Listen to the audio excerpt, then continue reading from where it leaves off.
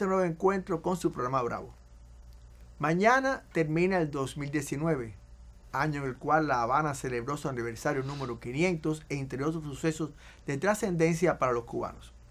Como se prometió la semana pasada, hoy concluye la transmisión del ballet El Cascanueces en versión del coreógrafo Maurice Bellar con el Bellar Ballet Lausanne desde el Teatro Châtelet de París en el año 2000. Y donde baila la bailarina cubana Catherine Sosnávar, a quien tuve como invitada en la emisión anterior y que hoy repite en el programa para placer mío personal de todo el equipo de Bravo y de usted, porque no siempre tenemos la posibilidad de contar en vivo con las intérpretes que se le ofrece en cada programa. Bienvenido nuevamente, querida. Gracias. gracias de nuevo por la invitación. Gracias, por repetir. Eh, la semana pasada hablamos un poco de tu relación con Bellar y, que bueno, que me parece que, es algo fundamental porque Bellar es más que un artista, es un, es un genio y haber colaborado con él y haber trabajado con él es eh, muy, muy interesante. Vamos a hablar hoy un poco del ballet en sí.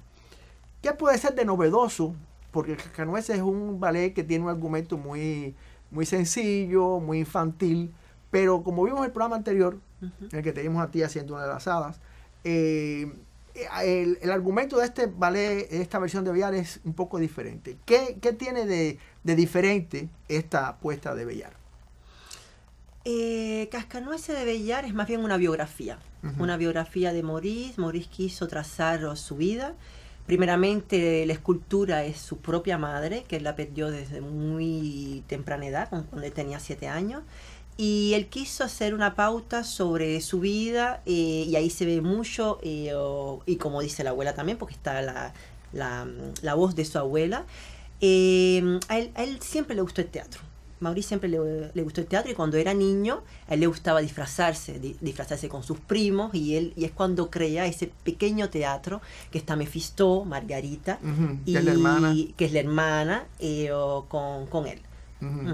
Eh, o sea que tiene un sentido eh, autobiográfico, pero también sentimental el, el ballet.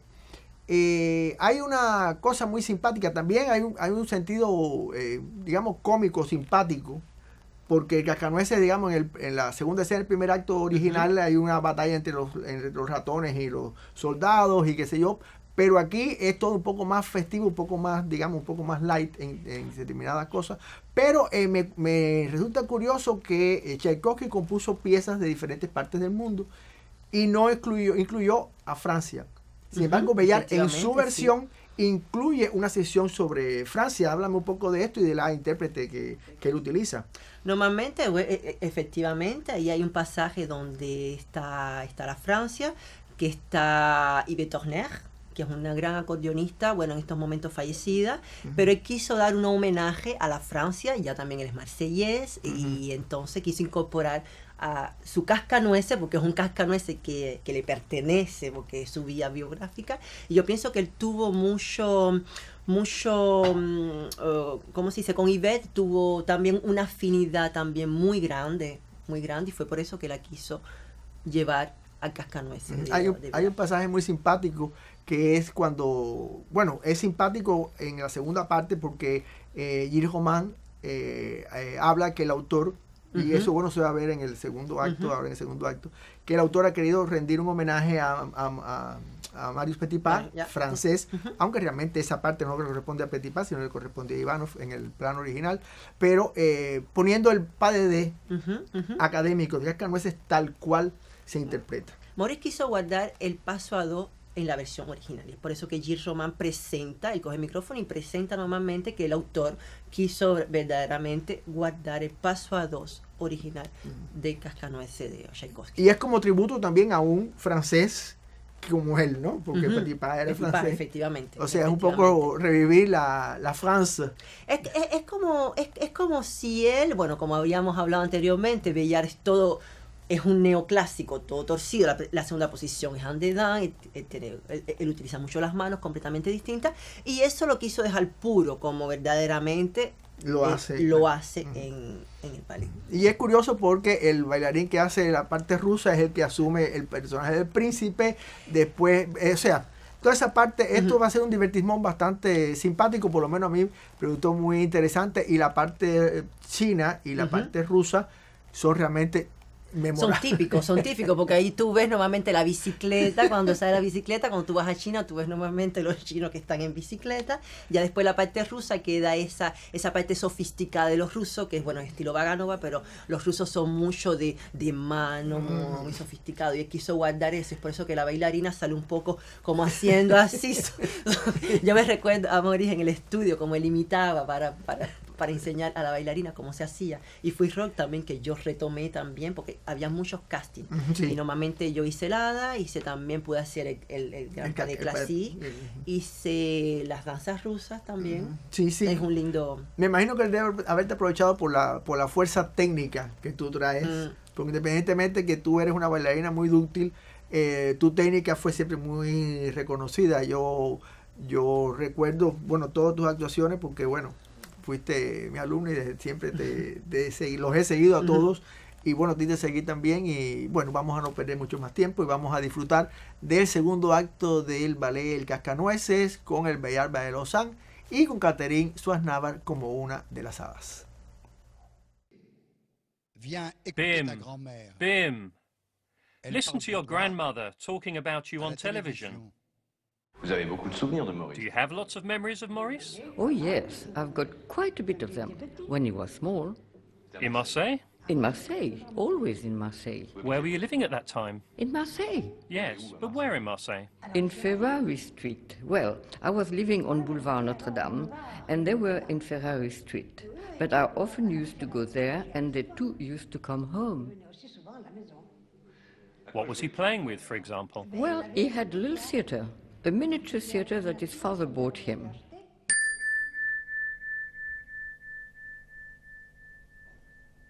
Did you applaud a lot? Oh, yes. Oh, my, you may say. My hands were very painful. Did it surprise you that Maurice Béjart became world famous? No, it doesn't. Why aren't you surprised? That he is in high society? Yes.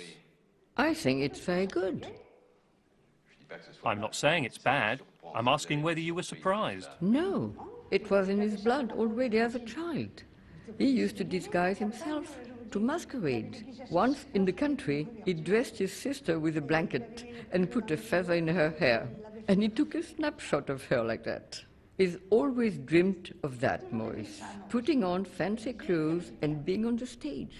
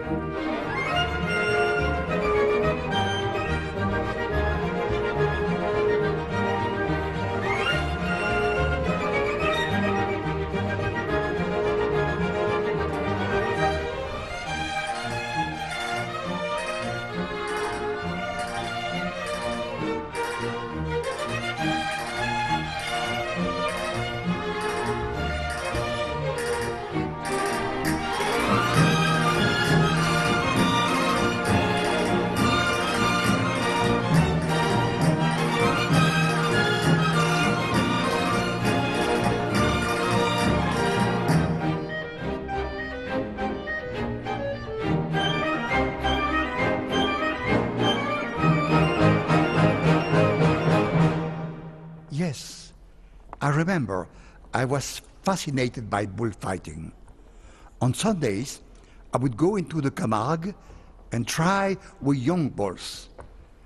I would dance with them.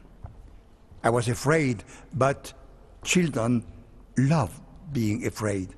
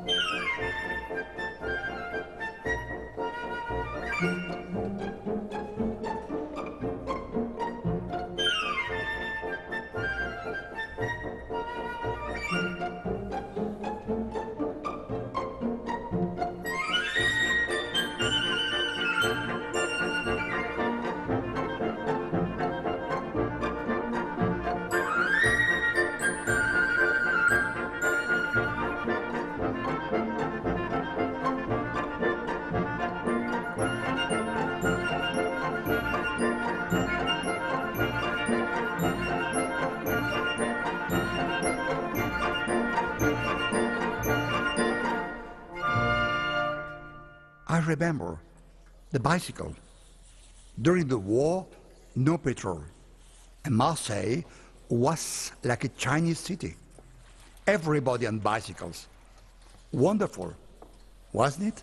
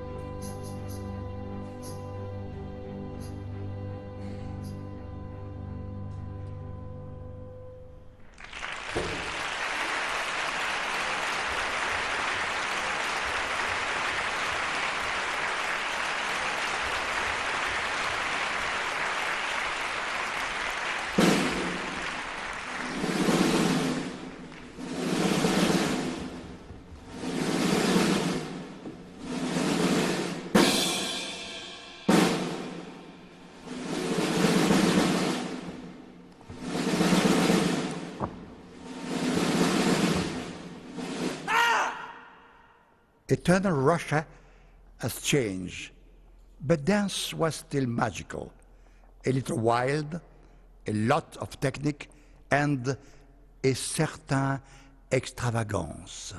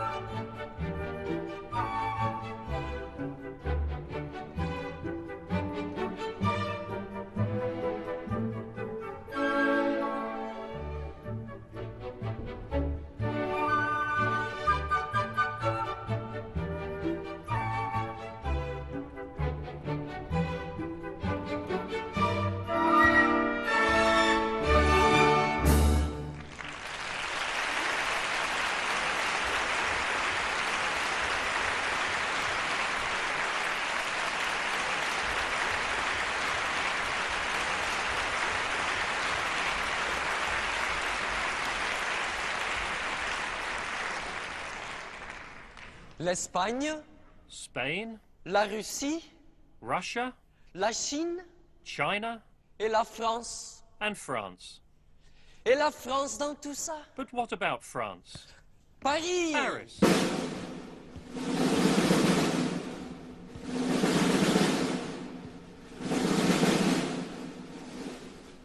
Paris. Ça, c'est Paris.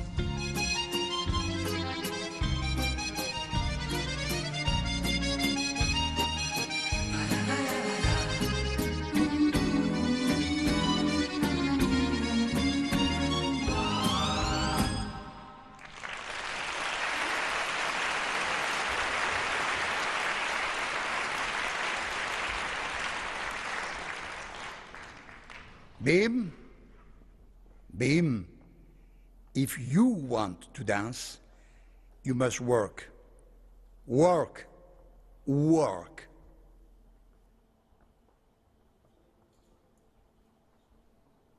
Marius.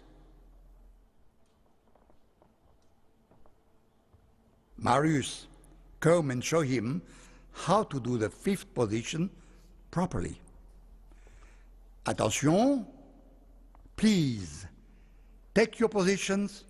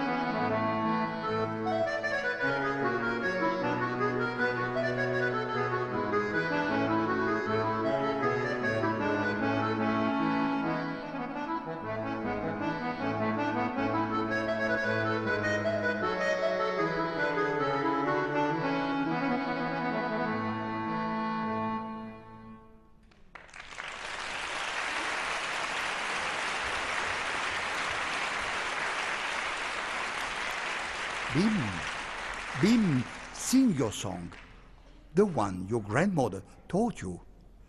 Les roses blanches.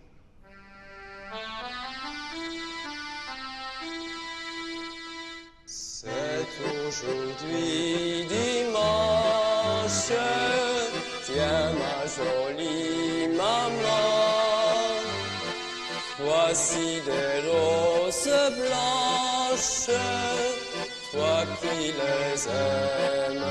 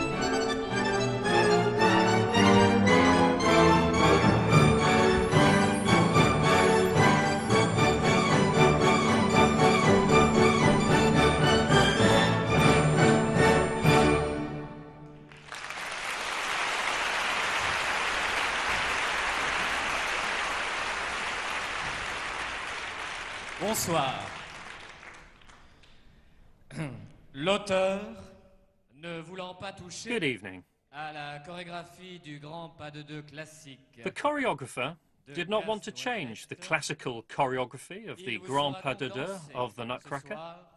strictement dans la So tonight, it will be danced in the original version by Marius Petipa.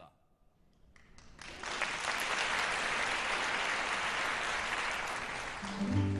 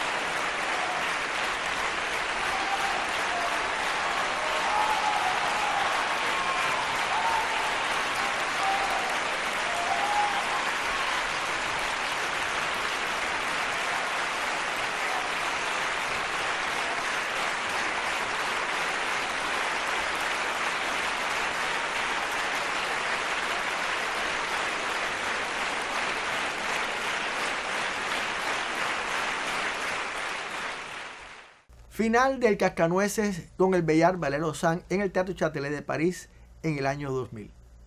Coincidentemente, durante estas celebraciones navideñas y de fin de año, valga recordar que Bellar nació en Marsella el primero de de enero de 1927, Ujú. por lo que también estamos festejando el aniversario de su nacimiento y eh, que es eh, clave, un creador clave, no solo para la danza mundial, sino para el arte en general. Porque. Maurice no solamente se concretó al ballet, Maurice también trabajó con ópera, también trabajó con grupos de teatro, también trabajó en cine, eh, o sea que es una personalidad muy importante, así que además por su cumpleaños próximamente, pues también hay que agradecerle este, hay que agradecerle que exista para hacerle este homenaje que hemos tenido ah, con ah. en Bravo. Le agradezco muy en especial a Caterine Suaznava el haber estado compartiendo conmigo y con usted estos dos programas. Gracias. gracias. Complace mucho ver a una alumna que triunfa en una carrera tan difícil, pero hermosa como es la de Valerina. Gracias. Eh, Catherine, vamos a terminar para preguntándote qué estás haciendo en estos momentos, porque hace, dos, hace años que ya no estás bailando. ¿Qué estás haciendo en este momento en tu vida, en tu carrera? Por el momento soy profesora de, de ballet clásico y eh, enseñante, profesora, enseñante, perdón, disculpa, eh, profesora de stretching postural. Ujú. Eh, bueno, ¿Qué es eso? El stretching postural es, una, es un método normalmente donde vamos a trabajar los músculos profundos. Vamos a trabajar los músculos, esos músculos que están junto a la columna vertebral, son músculos que normalmente no los utilizamos, lo utilizamos poco o simplemente no lo utilizamos. Entonces se trabaja con una respiración específica que es una que fue trabajada para, para que el músculo se relajara, para poder dar a ese músculo la posibilidad de tonificarse, de amplificarse y de estirarse. Entonces eso es una, una cosa en paralela que me, que me no sé, buscando en internet, yo me dije, pues cuando tú, ya tú sales de, de una, de una carrera tan larga que tú te quieres reconvertir, es verdad que hay muchas cosas que ya que te vienen a tu mente, yo empecé a buscar y fue algo que me, que me llamó la atención, que me llamó la atención y, yo, y lo podía utilizar también tanto como, como para los bailarines, para, para, para toda persona, porque yo tengo alumnos, por ejemplo, que tienen escoliosis, yo tengo alumnos que tienen una postura muy desequilibrada, mi objetivo es verdaderamente equilibrar esa postura para darle ese, es- esa tonificación Mejor. al cuerpo mejor, para los dolores también que viene siendo lumbares, eh, o de- t- todo lo que viene siendo la parte de, la cervical y es un trabajo muy muy lindo. Y Estar en contacto con la persona, de verdad que eso es para mí ah, increíble. Entonces, Bueno. bueno, estoy trabajando con esas dos cosas. Cuánto me alegro de tus éxitos. Eh, saludo a tu mamá, a Gracias. tus hijos. Sí. Y eh, bueno, su presentador y amigo Ismael Albelo le invita a que regrese con nosotros la próxima semana, ya en el 2020. No sin antes desearle todo género de éxitos en sus planes respectivos. Un feliz año nuevo y continúe como siempre cada lunes junto a nosotros exclamando bravo.